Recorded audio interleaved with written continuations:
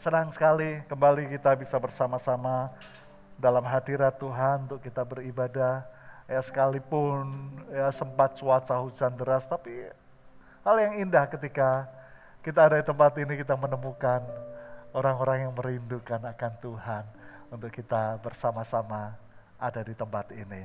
Nah, kita akan masuk dalam satu bagian di mana Tuhan itu hendak menyatakan akan kasihnya Tuhan tidak menyatakan akan perjanjiannya buat setiap kita melalui kebenaran firman Tuhan.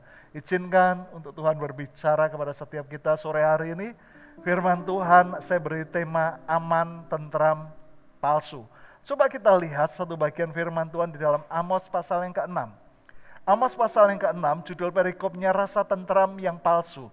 Saudara ketika firman Tuhan berkata rasa tentram yang palsu. Kalau Tuhan berbicara tentang yang palsu berarti ada yang asli. Saudara, kalau kita berbicara tentang aman, tentram, adalah sebuah kebutuhan yang mendasar dalam setiap kehidupan manusia. Aman, tentram adalah sesuatu hal yang bukan hanya menjadi kebutuhan, tapi hari-hari ini dicari oleh begitu banyak orang. Setiap orang membutuhkan akan rasa aman dan tentram. Saudara, dan dunia hari-hari ini menawarkan akan aman dan tentram yang dibutuhkan oleh manusia. Tetapi satu hal ketika Tuhan berbicara tentang rasa tentram yang palsu, maka Tuhan sedang berbicara kepada setiap kita umat Tuhan untuk kita tidak kita tidak masuk dalam jebakan dusta daripada dunia. Dunia tidak pernah bisa memberikan rasa aman, tentram. Karena yang dunia berikan rasa aman dan tentram adalah sesuatu yang dari luar yang hendak membangun rasa tentram aman dalam kehidupan akan manusia. Sedangkan rasa tentram aman dalam kehidupan manusia yang sesungguhnya itu ada di dalam. Dari dalam itu mengalir keluar, memancar keluar. Kalau hari-hari ini apa yang dunia sedang tawarkan, dunia berkata bahwa kita ini akan aman, kita tentram ketika kita punya status, ketika kita punya kekayaan, ketika kita punya kekuatan power. Hari-hari ini, apa yang dunia sedang tawarkan, itu mengalami goncangan dan ketidakpastian. Seiring dengan apa yang hari ini menggoncang, akan yang dunia tawarkan. Maka itu membuat begitu banyak orang hari ini seharusnya kita sadar. Berasa aman tentram kita ya, tidak pernah bisa kita dapatkan dari dunia ini. Nah coba kita lihat. Ayat yang pertama, terlebih dahulu. Firman Tuhan berkata seperti ini, celaka atas orang-orang yang merasa aman di Sion, atas orang-orang yang merasa tentram di gunung Samaria, atas orang-orang terkemuka dari bangsa yang utama, orang-orang yang kepada mereka kaum Israel biasa datang. Soalnya ayat yang pertama ini jelas sekali ini merupakan teguran Tuhan kepada umat Tuhan. Siapa Sion? Mereka adalah suku Yehuda. Siapa? Orang-orang yang tinggal di Gunung Samaria. Mereka adalah orang-orang Israel. Di mana pada masa itu bangsa Israel terpecah menjadi dua. Nah, saudara, Tuhan menegur akan umat Tuhan, baik suku Yehuda maupun Israel Mengapa Tuhan menegur mereka? Karena mereka membangun rasa aman dan tentram yang palsu, yang semu.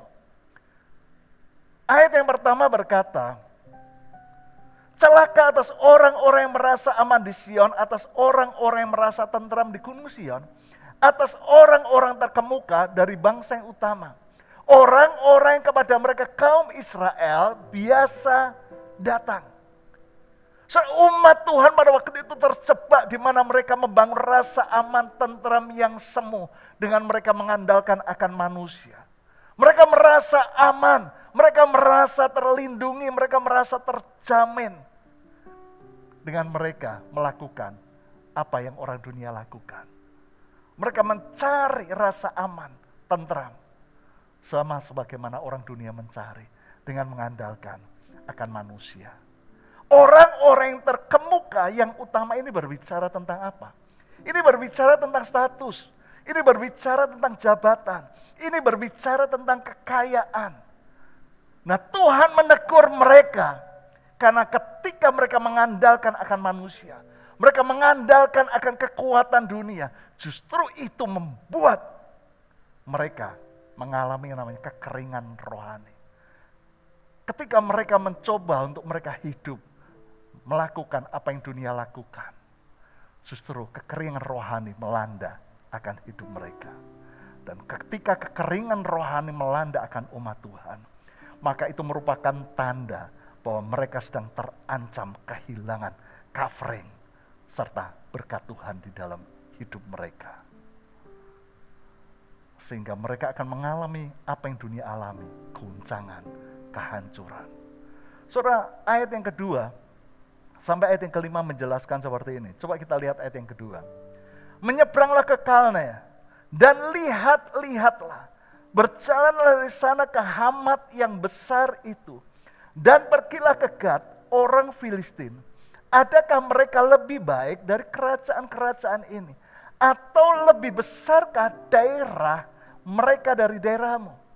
Tuhan bukan hanya menegur mereka, tapi Tuhan hendak mencelikan mata rohani mereka. Yang menjadi buta ketika mereka hidup sebagaimana orang-orang dunia hidup. Tuhan berkata, coba engkau menyeberang ke Kalna. Lihatlah, berjalanlah dari sana, dari Kalna ke Hamat yang besar itu. Bahkan pergilah ke Gad, dikatakan orang Filistin Filistin siapa? Mereka adalah musuh daripada umat Tuhan, orang Israel. Dan Tuhan berkata, adakah mereka lebih baik? Hal yang sama hari Tuhan sedang berbicara kepada setiap kita umat Tuhan. Ketika hari ini umat Tuhan terjebak dalam satu situasi kondisi yang menyeret akan umat Tuhan. Hari ini untuk mencari akan apa yang dunia cari hidup seperti yang dunia lakukan hari ini. Tuhan berkata, lihat hari ini. Lihat orang-orang di sekitarmu yang engkau lak, yang engkau teladani, yang engkau ikuti. Apa yang hari ini tidak mengalami goncangan, saudara? Menurut dunia bahwa orang yang punya kekayaan, orang yang punya status, orang yang punya kekuatan, orang yang semakin kaya, justru hari ini kita temukan. Mereka tidak justru rasa aman, mereka tidak semakin bertambah. Justru orang hari berpikir bahwa ketika aku memiliki kekayaan yang lebih lagi, maka aku akan aman, aku akan tentram. Hai jiwaku, maka engkau akan tentram. Justru hari ini kita lihat orang semakin kaya hari ini. Orang semakin tidak aman, semakin tidak tentram. Orang semakin dikejar rasa was-was bagaimana kalau sampai ini terjadi. Kerusuhan terjadi, ini bagaimana, ini bagaimana. Tuhan berkata, lihatlah. Adakah mereka lebih baik? Tuhan sedang ingatkan akan setiap kita sebagai anak-anak Tuhan. Supaya hari ini, di hari-hari di mana Tuhan menyatakan kemuliaannya bahwa Tuhan itu berdaulat, Tuhan itu pegang kendali atas kehidupan. Umat umat Tuhan itu menjadi umat yang berbeda dengan dunia.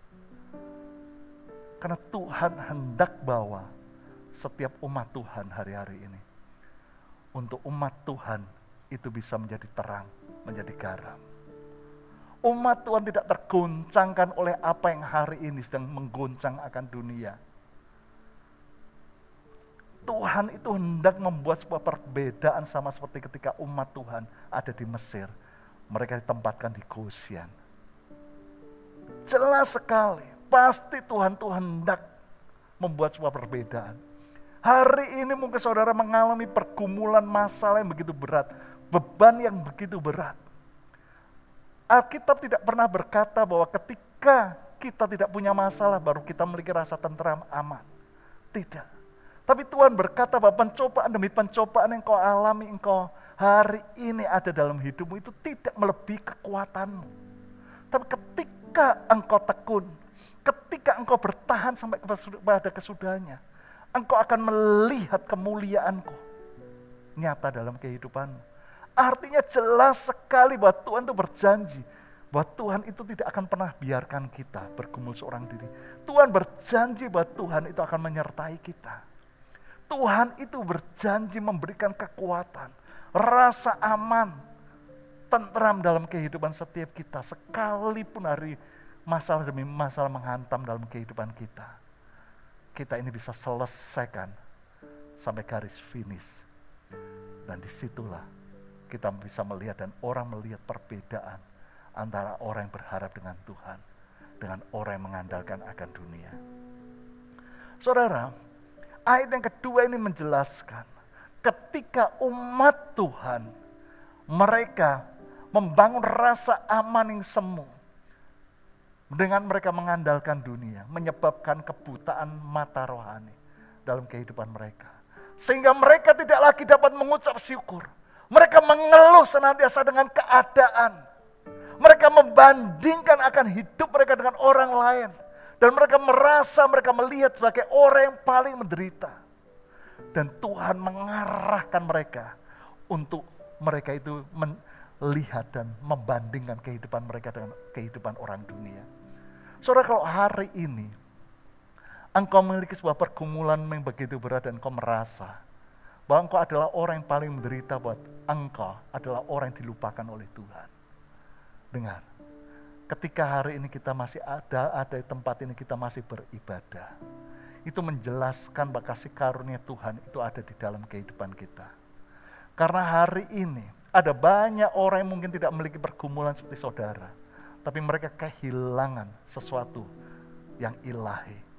Yaitu beribadah kepada Allah yang hidup.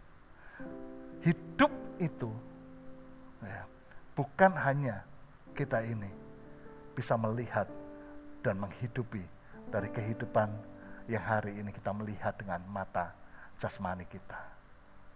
Tetapi hidup yang sesungguhnya itu adalah baik hidup kita saat ini maupun kehidupan di dalam ini. Kehidupan yang akan menentukan kekalan kita. Hari ini saudara, setiap kita paling tidak hari ini kita tahu bahwa kita ini adalah orang-orang yang memiliki kepastian di dalam Tuhan. Persoalan tantangan masalah hari ini kita bisa melihat silih berganti. Orang itu seperti yang orang dunia katakan sawang sinawang. Itu sebabnya hari ini dibutuhkan yang namanya mata rohani yang tidak buta. Yang ketiga, saudara ayat yang ketiga berkata seperti ini. Hai kamu yang menganggap jauh hari malapetaka. Tetapi mendekatkan pemerintahan kekerasan. Ayat yang keempat, yang berbaring di tempat tidur dari gading dan duduk bercuntai di ranjang, yang memakan anak-anak domba dari kumpulan kambing domba, dan anak-anak lembu dari tengah-tengah kawanan binatang yang tambun, yang bernyanyi-nyanyi mendengar bunyi gambus, dan seperti Daud menciptakan bunyi-bunyian bagi dirinya. Kok saudara lihat ini sepertinya ada sebuah kehidupan yang diingini oleh semua manusia. Semua orang mengingini akan kehidupan yang seperti ini. Tetapi saudara, sering kali justru ya, apa yang menguasai kehidupan kita, apa yang kita inginkan kalau kita tidak memiliki sikap hati yang benar, itu bisa menguasai hidup kita. Dan itu membuat sama seperti yang dialami terjadi dalam kehidupan umat Tuhan. Yaitu orang-orang di Sion dan di Gunung Samaria. Yaitu bangsa Israel. Membuat mereka menjadi orang yang berfokus kepada diri sendiri. Dikatakan menganggap jauh hari malapetaka. Tapi mendekatkan pemerintahan kekerasan. Mereka menjadi orang yang berfokus kepada diri sendiri. Menjadi orang yang egois. Orang yang kehilangan dan tidak memiliki lagi belas kasihan. Mereka yang berpikir yang penting adalah diri mereka sendiri. Mereka bisa mengorbankan orang lain hanya untuk memuaskan akan diri mereka sendiri. Untuk mereka bisa merasa aman, tercukupi. Mereka bisa korbankan orang lain. Dan itu yang justru akan membuat mereka itu menjadi orang yang tidak pernah merasa aman dan tentram. Saudara ketika orang hanya hidup untuk diri sendiri, menjadi orang yang berfokus dengan diri sendiri. Maka saudara, orang yang seperti ini saudara, jelas sekali dia akan hidup dengan rasa aman yang semu. Orang yang seperti ini akan kehilangan rasa aman tentram dalam hidupnya.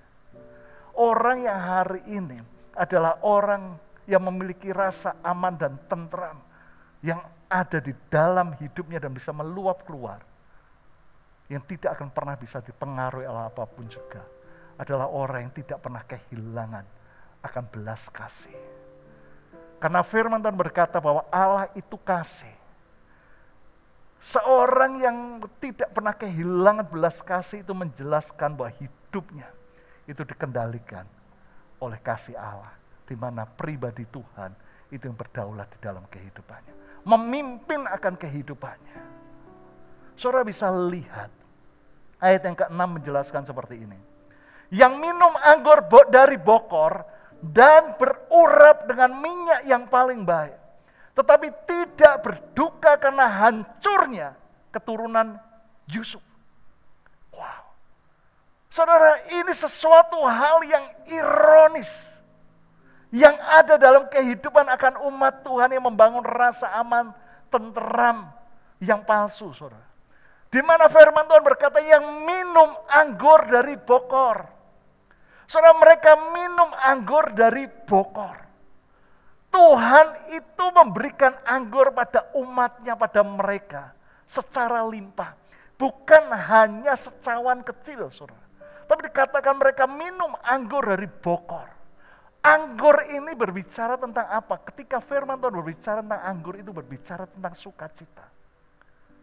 Itu yang Bapak, itu yang Tuhan sediakan bagi umat Tuhan. Supaya umat Tuhan itu limpah dengan sukacita. Itu sukacita yang daripada Tuhan. Yang tidak pernah bisa digoyahkan sebenarnya oleh kehidupan dunia ini. Bahkan dikatakan, dan berurap dengan minyak yang paling baik. Ini berbicara tentang apa? Ketika firman Tuhan berbicara tentang minyak, maka itu berbicara tentang pengurapan roh kudus. Pengurapan roh kudus dalam kehidupan orang percaya. Dan pengurapan dari roh kudus itu diberikan. Supaya umat Tuhan itu mengalami kemerdekaan. Supaya umat Tuhan itu bisa memancarkan kemuliaan Tuhan. Dan itu semua baik sukacita maupun pengurapan. Itu Tuhan sediakan dan berikan kepada umat Tuhan. Tujuannya satu supaya umat Tuhan itu bisa mengenal dan mengerti akan isi hatinya. Hal yang menarik sekali ketika Paulus menjelaskan tentang betapa pentingnya roh kudus dan pengurapannya itu membawa setiap anak-anak Tuhan mengalami kemerdekaan untuk hidup di dalam rencana dan kehendaknya. Karena pengurapan dan roh kudus itu membawa umat Tuhan untuk mengenal akan isi hati Tuhan. Coba kita lihat 1 Korintus 2 ayat yang ke-10. Paulus berkata seperti ini. Karena kepada kita Allah telah menyatakannya oleh roh. Sebab roh menyelidiki segala sesuatu. Bahkan hal-hal yang tersembunyi dalam diri Allah. Wow. Salah satu kasih karunia Tuhan yang besar dalam kehidupan akan orang percaya. Di mana Tuhan memberikan akan roh kudusnya Pengurapannya membuat anak Tuhan, umat Tuhan mengalami kemerdekaan dan roh kudus yang ada dalam kehidupan orang percaya. Paulus berkata, roh kudus itu akan menyatakan hal-hal yang tersembunyi dalam diri Allah. Apa artinya? Artinya roh kudus yang diberikan yang ada dalam kehidupan orang percaya. Itu akan menyatakan, mewahyukan kepada setiap kita perkara-perkara yang berasal dari hati Tuhan sendiri. Sehingga kita menjadi anak Tuhan yang bisa mengenal dan mengerti akan perasaan hati Tuhan. Kita menjadi anak Tuhan yang bisa hidup dalam kehendak dan rencana Tuhan. Itu sebabnya kalau sebenarnya kalau kita berbicara tentang seorang yang hidupnya dipenuhi roh kudus, dipimpin oleh roh kudus. Bukan hanya sekedar orang itu berbahasa roh, bisa berbahasa roh. Tetapi lebih daripada itu, di mana kita ini akan menjadi orang yang bisa mengerti, mengenal akan perasaan hati daripada Bapa. Dan itu yang membuat setiap kita ini bisa hidup dan mengerjakan rencana Tuhan di dalam kehidupan akan setiap kita. Amin. Katakan amin saudara. Nah, kembali lagi kepada Amos pasal 6 tadi. Amos 6 ayat yang ke-6. Yang minum anggur bokor dan berurap dengan minyak yang paling baik dikatakan tetapi tidak berduka karena hancurnya keturunan Yusuf. Sungguh sesuatu yang ironis. Mereka tidak berduka karena hancurnya keturunan Yusuf. Artinya saudara mereka ini tidak peduli dengan hidup orang percaya yang terhilang. Mereka tidak peduli dengan pekerjaan Tuhan. Mereka tidak peduli dengan gereja Tuhan. Yang ada di benak mereka selama aku bisa menikmati kegembiraan di dalam Tuhan. Selama aku bisa menikmati hidup ini itu sudah cukup bagiku. Dan Alkitab berkata itu mendukakan hati Tuhan.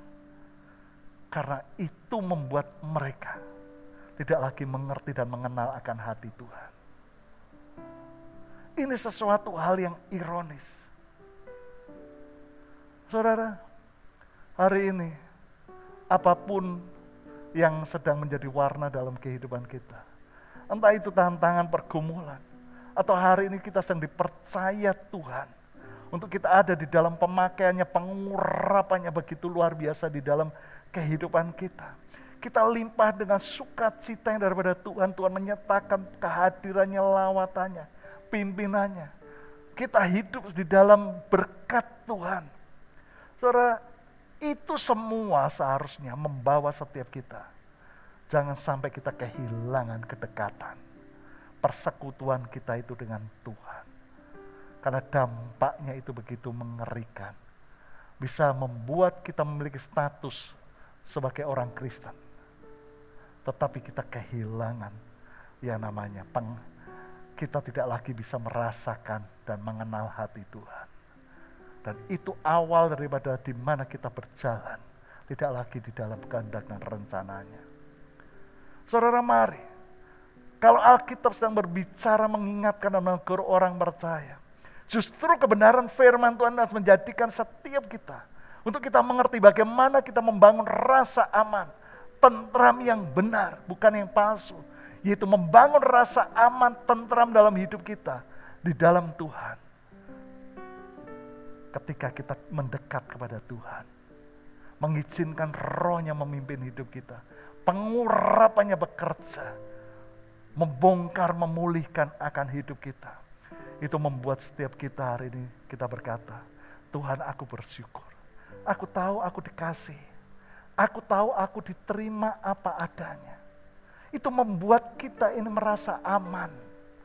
Ada damai, ada tentram dalam hidup kita. Dan kita tahu ketika kita menjadi anak Tuhan yang mendekat kepada Tuhan bisa merasakan kasih Tuhan. Maka kita tahu kita itu ada dalam covering perlindungan Tuhan kita tahu bahwa orang-orang yang kita kasihi, ketika kita bawa kepada Tuhan, mereka semua ada di dalam covering Tuhan. Karena itu akan membawa kita untuk mengenal akan hati Tuhan. Bukankah Tuhan berkata, mari engkau yang letih, lesu dan berbeban berat, datang kepadaku, aku akan memberikan kelepasan dan kelegaan. Membuat kita berkata, Tuhan aku tahu kekuatanku terbatas. Tapi aku bersyukur, aku tahu bahwa engkau bersedia untuk tolong aku untuk memberikan kekuatan. Aku berserah kepadamu Tuhan. Sehingga kita tidak lagi bergumul dengan pergumulan kita. Dengan kekuatan kita. Kita tahu Tuhan, ketika aku serahkan padamu hidupku, orang-orang yang aku kasih, keluargaku, pekerjaanku. Aku tahu ada covering yang kokoh.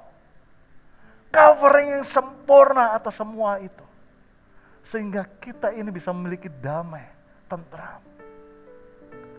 Saudara hari-hari ini ada begitu banyak orang yang kehilangan damai. Bahkan ketika mereka tidur pun mereka tidak bisa tidur. Padahal firman Tuhan berkata ketika kita tidur pun Tuhan itu memberkati kita. Artinya ketika kita tidak bisa tidur karena kehilangan damai tentram. Kita ini sedang kehilangan berkat Tuhan. Yang Tuhan disediakan buat setiap kita karena firman Tuhan berkata rahmatnya itu selalu baru. Saudara, Satu hal tentunya sebagai umat Tuhan kita ini bisa belajar daripada Tuhan Yesus.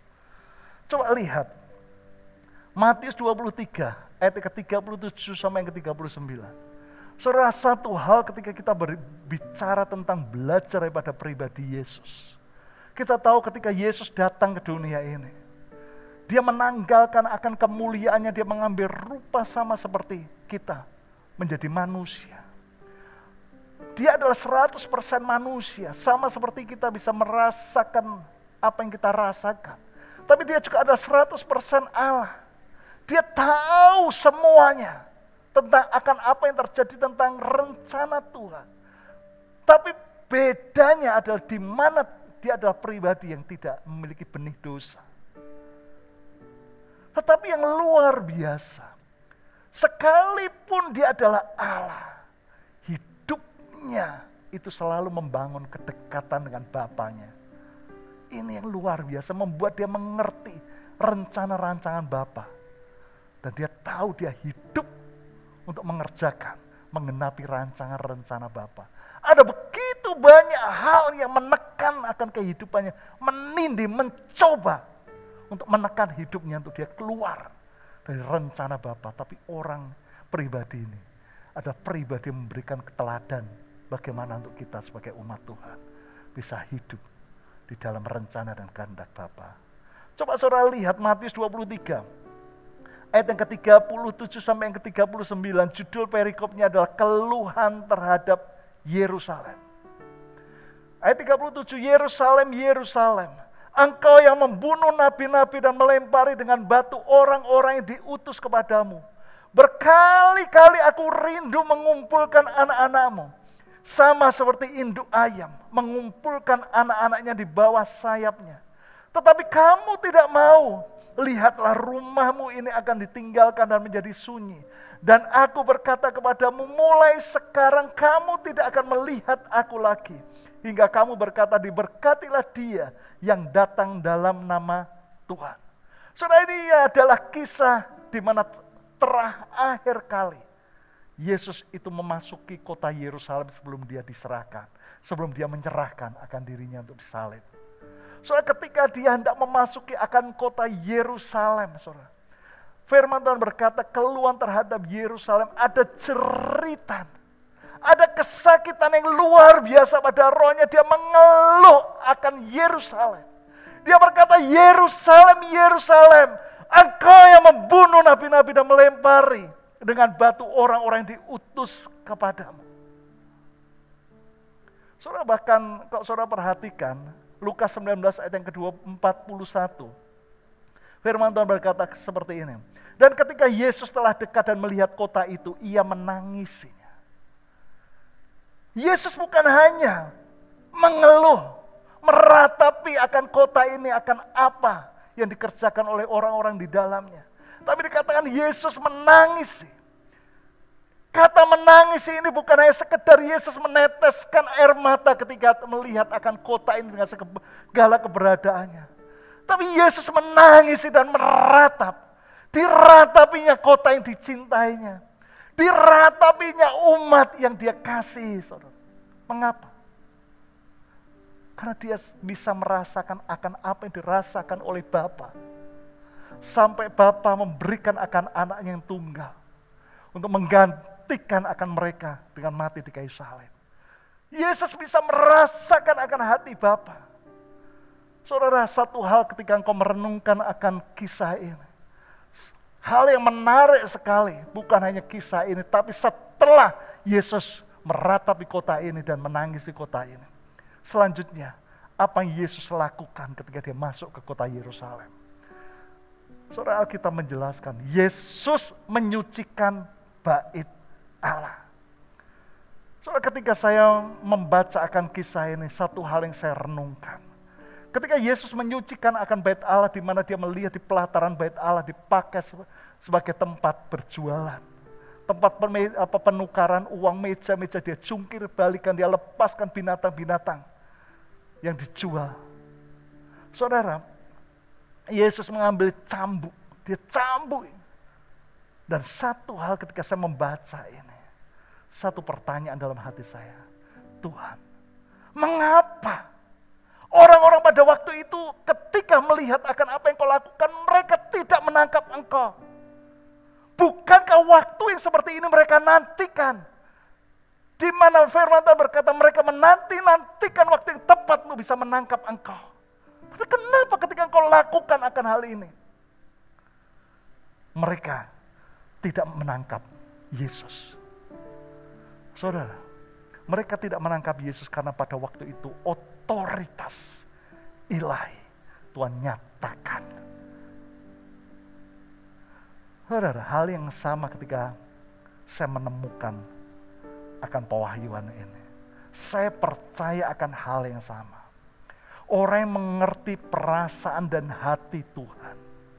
Maka otoritas Tuhan, otoritas ilahi akan diberikan dalam hidupnya. Dia akan menjadi orang-orang yang bisa membuka akan langit yang mengeras menjadi tembaga. Di mana Alkitab berkata, apa yang kau lepaskan di bumi akan terlepas di surga. Apa yang kau lepaskan, apa yang kau ikat itu akan terikat di surga. Apa yang kau lepaskan itu akan terlepas di surga. Saudara, Tuhan itu hendak cari orang-orang yang hari ini. Bukan hanya sekedar Tuhan. Dia berkata, Tuhan berkati aku, urapi aku. Tapi Tuhan saya mencari orang-orang yang membangun kedekatan dengan Tuhan. Orang-orang yang bisa merasakan dan mengerti akan perasaannya. Sebab Tuhan hendak menyatakan otoritasnya dalam kehidupan orang-orang seperti ini. Satu hal yang terakhir, coba saudara lihat Nehemia. Nehemia pasal yang pertama. Nehemia pasal yang pertama lihat ayat yang pertama sampai yang keempat. Riwayat Nehemia bin Hakhalya pada bulan Kislev tahun ke-20 ketika aku ada di Puri Susan. Datanglah Hanani salah seorang dari saudara-saudaraku dengan beberapa orang dari Yehuda. Aku menanyakan mereka tentang orang-orang Yahudi yang terluput, yang terhindar dari penawanan dan tentang Yerusalem. Kata mereka kepadaku, orang-orang masih tinggal di daerah sana yang terhindar dari penawanan, ada dalam kesukaran besar, dan dalam keadaan tercelah. Tembok Yerusalem telah terbongkar dan pintu-pintu gerbangnya telah terbakar. Ketika aku dengar berita ini, duduklah aku menangis dan berkabung selama beberapa hari. Aku berpuasa dan berdoa ke hadirat Allah semesta langit. Saudara siapa Nehemia? Nehemia ini adalah salah satu daripada orang-orang Yehuda yang pada waktu itu mereka terluput dari kematian dan mereka ditawan mereka dibawa ke Babel. Saudara Nehemia ini membangun kehidupannya.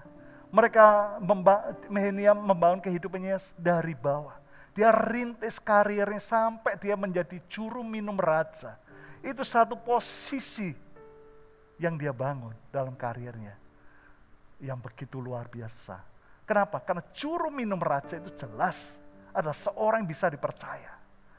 Karena itu akan memegang peranan sangat penting bagi kehidupan daripada raja.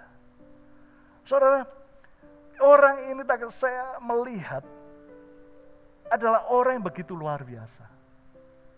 Orang yang tidak membangun rasa aman tentramnya dari posisi status, dari kemewahan. Tapi dia bangun akan kehidupannya dengan dia berjalan di dalam kehendak dan rencana Tuhan. Ini orang yang dekat dengan Tuhan. Menempatkan dirinya untuk selalu dia dalam persekutuan dengan Tuhan. Dari mana? Jelas sekali orang ini kelihatan adalah pribadi yang memiliki belas kasih. Ketika dikatakan datang Hanani salah seorang dari saudara-saudaranya dengan beberapa orang Yehuda ya datang ke Puri Susan ke tempat di mana Hanani, ne, apa maaf Nehemia, bekerja membangun karirnya. Dia bertanya, bagaimana orang-orang yang terluput dari kematian dan hari ini masih tinggal di Yerusalem. Bagaimana kota Yerusalem. Dan orang ini menjelaskan kepada Nehemia akan apa yang terjadi dengan Yerusalem. Dikatakan orang-orang yang tertinggal hari ini mereka hidup di dalam ya kondisi yang kesusahan yang besar. Kenapa? Kan dikatakan Yerusalem temboknya terbongkar, pintu-pintu gerbangnya terbakar. Dan Nehemia dia berduka, dia menangis. Mengapa saudara? Karena ketika tembok Yerusalem runtuh terbakar, maka musuh itu akan dengan mudah menghancurkan, membunuh akan bangsa Israel. Dan mereka yang masih tinggal itu menjadi celaan bagi musuh mereka. Saudara kehancuran tembok itu selalu berkaitan dengan dosa umat Tuhan. Dan itu terjadi karena umat Tuhan. Mereka hidup membelakangi Tuhan. Mereka hidup di dalam dosa. Saudara tembok itu bisa berbicara tentang pekerjaan, bisa berbicara tentang rumah tangga, pernikahan, keluarga. Ah, bahkan pelayanan sangat menentukan akan kehidupan manusia. Dan Nehemia lihat itu hancur, terbakar, runtuh. Dia menangis kan dia tahu. Ada begitu banyak kehidupan yang hancur. Kehidupan yang ada di dalam celaan tekanan akan musuh. Saudara lihat bagaimana ketika tangisan Nehemia sama seperti yang Yesus lakukan ketika meratap menangisi akan Yerusalem. Ada cerita kesakitan dalam rohnya membuat dia mengerti akan rencana Tuhan. Dan kasih karunia otoritas Tuhan itu turun atas hidupnya. Sehingga kalau saudara perhatikan, Raja Artasasta itu bukan hanya mengizinkan untuk dia pulang ke Yerusalem untuk membangun akan tembok Yerusalem. Bahkan Raja Artasasta lah yang menyediakan akan apa yang Nehemia butuhkan dalam perjalanan maupun membangun tembok Yerusalem. Jelas sekali ini kasih karunia Tuhan, jelas sekali ini otoritas Tuhan yang turun atas hidup orang ini. Saudara lihat, apa yang dilakukan Nehemia begitu ia tiba di Yerusalem. Nehemia 2 ayat yang ke-11 sampai yang ke-13. Maka tibalah aku di Yerusalem sesudah tiga hari aku ada di sana. Ayat yang ke-12. Bangunlah aku pada malam hari bersama-sama beberapa orang saja yang menyertai aku. Aku tidak memberitahukan kepada siapa pun rencana yang akan kulakukan untuk Yerusalem. Yang diberikan Allahku dalam hatiku juga tidak ada lain binatang kepadaku kecuali yang kutunggangi. So perhatikan begitu Nehemia tiba di Yerusalem setelah tiga hari. Dia ada di Yerusalem dikatakan, bangunlah aku pada malam hari. Kita perlu sebagai umat Tuhan belajar pada apa yang dilakukan oleh Nehemia. Dikatakan bangunlah aku pada malam hari. Soalnya ini waktunya untuk setiap orang percaya itu bangun. Dikatakan pada malam hari.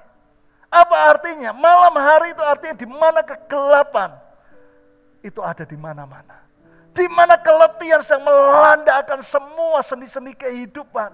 Kegoncangan ada di mana-mana Tuhan justru berkata bangun. Satu hal yang kita bisa belajar ketika Nehemia bangun. Ya, pada malam hari. Saudara, firman Tuhan yang berbicara kepada setiap kita.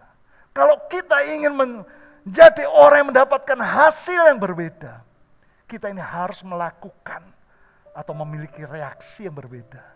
Di mana ketika malam hari semua orang tertidur. Justru kita ini bangun. Saudara hari ini kegelapan sedang melanda di mana-mana.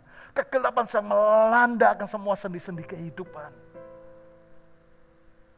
Keletihan sedang melanda. Keletihan secara sosial, ekonomi. Tapi justru kita ini bangun. Sehingga kita menjadi orang-orang yang hari ini.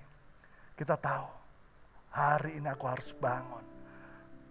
Aku harus menguatkan akan apa yang Tuhan percayakan kepadaku, pekerjaanku.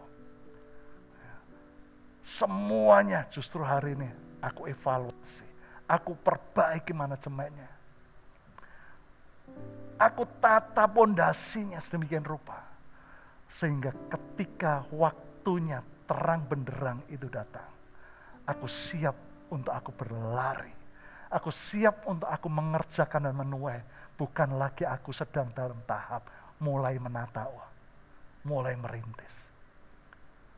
Saudara Tuhan itu mencari orang-orang yang memiliki reaksi yang berbeda untuk Tuhan mau percayakan sesuatu yang besar.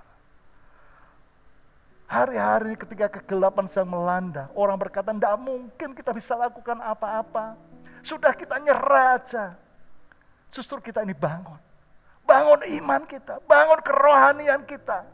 Perkatakan akan iman buat keluarga kita. Perkatakan iman buat pekerjaan kita, buat pelayanan kita. Apa yang membuat hari-hari ini orang tertidur? Sehingga tidak bisa mendengar akan suara Tuhan, panggilan Tuhan. Kenyamanan. Rasa tentram aman yang semu. Yang akhirnya membuat orang kecewa, membuat orang letih. Aku sudah bangun ini, aku sudah lakukan ini, aku mau ini. Tapi kenapa runtuh? Saudara, engkau lihat hal yang luar biasa sekali. Ayat yang ke-13. Demikian pada malam hari, aku keluar melalui pintu gerbang lebah, kejurusan mata air ular naga dan pintu gerbang sampah. Aku menyelidiki dengan seksama tembok-tembok Yerusalem yang telah terbongkar dan pintu-pintu gerbang yang habis dimakan api. Surah Nehemia bangun dan dia menyelidiki dengan seksama tembok-tembok Yerusalem yang telah terbongkar. Surah kata menyelidiki di sini itu bukan seperti orang yang melihat-lihat dia mengelilingi dan dia melihat, lihat dan dia berkata, oh di mana ya rusaknya? Oh ini rusak, ini runtuh. Ini perlu semen berapa sak ya? Yang ini kalau aku mau bangun, itu perlu batu bata berapa ya? Kata menyelidiki ini bukan seperti itu saudara. Tapi ini mengandung arti yang jauh lebih dalam dari sekedar hanya itu. Kata menyelidiki ini dari bahasa Ibrani, bahasa aslinya itu memiliki arti broken heart. Hancur hatinya. Ketika dia melihat, ketika dia meneliti, tembok itu runtuh dan pintu gerbangnya terbakar. Saudara orang yang mengalami Tuhan, orang yang tahu rencana Tuhan, itu akan mengalami kehancuran hati ketika melihat tembok umatnya hancur. Saudara hari ini Tuhan sedang mencari di tempat ini. Adakah Tuhan temukan dalam kehidupan kita untuk kita ini mau bangkit, kita mau menjadi Nehemia, Nehemia air zaman. Terlebih hari ini saudara, sebentar lagi kita ini akan mengakhiri tahun 2020 tanpa terasa begitu cepat waktu berlalu. Kita sudah ada di penghujung tahun 2020. Sebentar lagi kita akan merayakan Natal. Tentunya Natal kita akan berbeda dengan Natal-Natal sebelumnya. Natal ini adalah Natal di mana kita perlu introspeksi kehidupan kita, kita melihat kilas balik perjalanan hidup kita untuk kita memadankan hidup kita untuk kita menjadi sama seperti Kristus. Hidup kita kembali dipenuhi dengan belas kasih Tuhan. Karena kasihnya dia datang ke dunia. Saudara hari-hari ini, Tuhan itu mencari Nehemia-Nehemia air zaman. Yaitu Nehemia-Nehemia umat Tuhan yang mengerti akan isi hati dan mengenal akan isi hati Tuhan, tahu rencana Tuhan. Kita ini hari ini bisa berkata Tuhan pakai aku, siapa pun kita ini bisa. Dan itu akan membuat kita ini menutup lembaran tahun ini menjadi sebuah perjalanan hidup yang indah. Saudara kita tidak perlu untuk lihat-lihat apa terlihat terlalu jauh. Kita ini bisa lihat dari keluarga kita, keluarga inti kita, keluarga kedua kita saya menemukan kalau kita mau bicara jujur saudara dengan hantaman kondisi situasi yang seperti ini pandemi. Ada begitu banyak kehidupan yang berubah. Kehidupan yang serba terbatas. Berapa waktu setengah setengah tahun ibadah harus online, segi harus online. Kebutuhan manusia mendasar sebagai makhluk sosial kita ini sering kali berkata, aku ini ingin ketemu, aku kalau saya kalau ibadah itu aku ingin ibadah onsite. Bertatap muka. Tapi tidak bisa. Dan kita mau kalau mau bicara jujur, tidak semua orang memiliki kekuatan ya untuk berdiri sendiri. Berapa banyak ya, keturunan Yusuf yang runtuh, yang terhilang. Saudara coba kita bersama-sama ya di CG kita berkata ayo kita CG ini kita lihat siapa keluarga kedua kita yang hari ini. perlu untuk kita bersama-sama menghadirkan kasih Tuhan. Kita buat tim-tim kecil di CGCG, ya kita buat Christmas Carol ya yang dalam kapasitas kelompok apa yang kecil. Kita tidak perlu untuk jangkau keluar. Ya, kita mulai dari dalam kecuali ya kita dalam semua oke, kita bisa keluar. Ya, kita buat tim-tim kecil. Kita cari mereka, kita hadirkan Natal di tengah-tengah kehidupan mereka, keluarga mereka. Kita bersama-sama muji nyembah Tuhan, berdoa bersama-sama doakan mereka, bagikan kebenaran firman Tuhan tentang kasih Tuhan, tentang Natal. Berkati mereka, doakan mereka. Kalau Tuhan percayakan kita berkat lebih, kita bisa koordinasi. Ya semua melalui kepenilikan, mungkin kita adakan sesuatu ya sesuatu yang bisa memiliki nilai lebih ketika Tuhan percaya pada kita. Mungkin kita bisa berkata, yuk kita kumpulkan pakaian pantas pakai kita. Atau sedikit kita kalau diberkati Tuhan kita nabur untuk beli sembako, ya untuk berikan kepada mereka. Kalau Tuhan percayakan itu kenapa enggak? Maka kita bisa melihat ternyata ajaib Tuhan. Justru ketika aku menangkap hatimu, ketika aku berbagi, Aku mengizinkan untuk hidupku menjadi saluran kasih rencanamu bagi begitu banyak orang. Kita merasa hidup kita itu berarti. Kita tahu bahwa Tuhan itu pakai hidup kita. Kita melihat bagaimana Tuhan itu melimpahi kita dengan damainya, dengan sukacitanya ketika kita membagikan damai sukacita Tuhan melalui hidup setiap kita. Amin, saya rindu saat, kalau setiap kita bergerak seperti itu. Saya percaya kita akan berkata Tuhan, akulah Nehemia, Nehemia, air zaman. Aku bukan hanya sekedar orang yang berkata Tuhan berkati aku, urapi aku. Tapi aku tahu bahwa Tuhan mau memberkati aku. Kau menyatakan urapanmu, perlindunganmu. Dan aku tahu apa yang harus aku lakukan. Jadilah berkat. Jadilah orang yang hari ini diberkati. Tapi jadilah orang yang menjadi berkat. Natal pakai menjadi sebuah momentum untuk kita ini bisa melihat bahwa hidup kita ini berarti. Melalui hidup kita rencana Tuhan sedang digenapkan. Mari saya undang untuk setiap kita bisa banget berdiri.